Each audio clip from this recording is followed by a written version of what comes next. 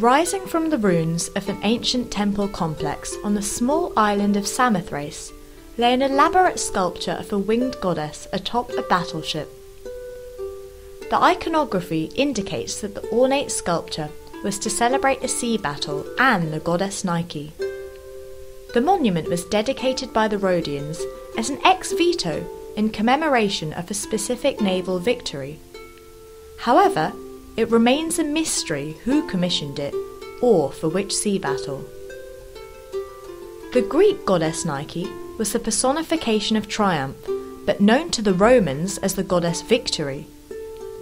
The winged Nike of Samothrace was skillfully sculptured by Pythokritos of Lindos in Rhodes around 220 BC to 185 BC. Nike towers to an impressive 2.5 metres, but combined with the base, she reaches a staggering height of 5.57 metres. The offering of the statue is perched high on a ship as a religious act to honour the gods. The placement suggests the work was created to be viewed from the front left hand side, indicative of the less intricate detail on the right hand side of the body. Similar to the Hellenistic boxer, Nike is caught in action with the wings extended back in flight and the use of drapery used to capture this precise moment. The goddess is easily identifiable due to her distinctive portrayal in art.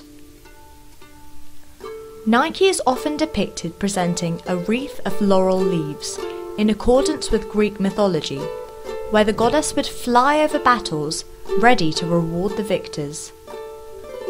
You can find her today in the Louvre, where her presence ensures that her legacy lives on. Modern brands have been inspired by what the goddess stood for and represented. The founder of Nike Incorporated, Phil Knight, was motivated by Nike's relationship with victory in the athletic games. The culmination of this ancient sculpture and the modern symbol contributes to her being hailed as the greatest masterpiece of Hellenistic sculpture.